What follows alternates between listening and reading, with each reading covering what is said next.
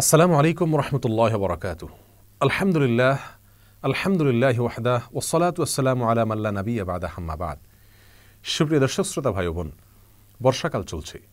আর এই বর্ষাকাল উপলক্ষে একটি বিশেষ আমল রয়েছে। যে আমলটির মাধ্যমে আমরা আল্লাহ সুমাতাল্লাহ কাছ থেকে অনেক বেশি আজার, অনেক বেশি সওয়াব আমরা অর্জন করতে পারি। অনেক বেশি বিনিময় আমরা লাভ করতে পারি। আর সেটি হলো বর্ষাকাল উপলক্ষে বৃক্ষরোপণ করা, গাছ লাগানো। গাছ লাগানো, বৃক্ষরোপণ করা এটা সারা বছরই করা যেতে পারে। কিন্তু বর্ষাকালে গাছ লাগানো এবং বৃক্ষরোপণ করার জন্য সবচেয়ে মুখ্যম সময় এবং সবচেয়ে উত্তম সুযোগ। কারণ বর্ষাকালে গাছ লাগালে, বৃক্ষরোপণ করলে অল্প এবং সামান্য পরিচর্যার মাধ্যমে সেই গাছকে বড় করে তোলা যায়, গড়ে তোলা যায়। আর সেজন্য বর্ষাকালে বৃক্ষরোপণের গুরুত্ব আমরা কে না বুঝি? রসুল করিম সাল্লাহ সাল্লাম বৃক্ষরোপণ সম্পর্কে যে সমস্ত ফজিলত, যে সমস্ত মর্যাদা, যে সমস্ত সওয়াব এবং উপকারিতার কথা বিভিন্ন হাদিসে উল্লেখ করেছেন সেগুলো যদি আমরা জানি, তাহলে আমরা প্রত্যেক মুসলমান প্রতিটা বর্ষাকালে অন্তত একটি করে গাছ লাগানোর প্রেরণা আমরা সেখান থেকে খুঁজে পাবো ইনশাআল্লাহ।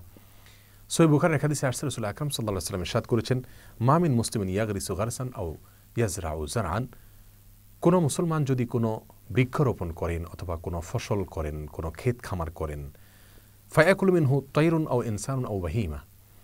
এবং সেখান থেকে সে গাছ থেকে, সে ফসল থেকে, সে বৃক্ষ থেকে যদি ফল হোক, ফসল হোক, পাতা হোক, কোনো মানুষ, কোনো পশু, কোনো পাখি কেউ খায়, কেউ বক্ষণ করে, ইল্লা কানাবি সাদাকা, তবে এর ফলে তিনি সাদকার সোয়াব পাবেন। তার মানে দান না করেও তিনি সাদকার সোয়াব পাবেন যদি তার রোপণ করা গাছ থেকে, বৃক্ষ থেকে কোনো মানুষ, কোনো পশু, কোনো পাখি কেউ বক্ষণ করে। প্রিয় দর্শক ইহাদিস থেকে পরিষ্কারভাবে আমরা জানতে পারি যে বৃক্ষরোপণ করা গাছ লাগানোর যে ফজিলত রয়েছে, সেটা কতটা বিপুল, সেটা কতটা ব্যাপক এবং কতটা বেশি, আল্লাহ সুমাতালা রীতিমতো সদকায় জারিয়ার সওয়াব আমাদেরকে দিচ্ছেন এই বৃক্ষরোপণের মাধ্যমে।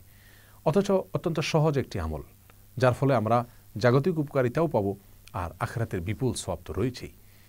অতএব এই বৃক্ষরোপণের গুরুত্ব আমাদের অনুধাবন করা উচিত। মুসনাদ আহমদ আর খাদিসে আরসুল্লাহ আকরম সাল্লাহ আসলামের সাদ করেছেন ইনকামাত ইসা ওয়ফিয়াদি আহাদিকুম ফসিলা ফালিয়াগরিস হা যদি তোমাদের কারোর হাতে কোনো গাছের চারা থাকে আর এদিকে কেয়ামত কায়েম হয় সেই জন্য এটা মনে না করে যে কেয়ামত তো হয়েই যাচ্ছে, তাহলে এখন আর গাছ লাগিয়ে কী করব? বরং এরকম পরিস্থিতিও যেন সে সে চারাটিকে রোপণ করে গাছ লাগায়, বৃক্ষরোপণ করে, অর্থাৎ কার্পণ্য না করে। এরকম পরিস্থিতিতেও বৃক্ষরোপণের গুরুত্ব রসুল আকাম সাল্লাহ সাল্লাম দিয়েছেন। প্রিয় দর্শক এখান থেকে বোঝা যায় আল্লাহ নবী সাল্লাহ সাল্লাম তথা ইসলাম একটি সবুজ, শ্যামল পৃথিবী দেখতে চেয়েছেন। তিনি চেয়েছেন প্রচুর পরিমাণে বৃক্ষরোপণ করা হোক। অতএব আমাদের দেশের মতো যে সমস্ত দেশে দীর্ঘ সময় পর্যন্ত বর্ষা থাকে, বৃষ্টি বাদল থাকে, আমরা চাইলে সামান্য চেষ্টা মাধ্যমে আমরা একটা গাছ লাগাতে পারি নিজস্ব উদ্যোগে। আর এর ফলে বাহ্যিকভাবে আমরা দুনিয়াতে ফল, ফসলের গাছ লাগালাম, কিন্তু আমরা এর ভেতরে তাকালে দেখব যে আমরা মূলত সওয়াবের গাছ, আজারের গাছ, আল্লাহ সুহামতাল্লাহ কাছ থেকে বিনিময় পাওয়ার গাছ আমরা লাগালাম। বিদায়, আসুন। এই বর্ষায় আমরা অন্তত একটি করে বৃক্ষরোপণ করি, আমরা প্রত্যেকে শুরু করি। আল্লাহ সুহামতাল্লাহ আমাকে, আপনাকে, আমাদের সকলকে বর্ষাকাল উপলক্ষে এই আমলটি করার তৌফিক দান করুন। জেজাকমুল্লাহ খৈরা আসসালামু আলাইকুম রহমতুল্লাহি ওবরাকাতু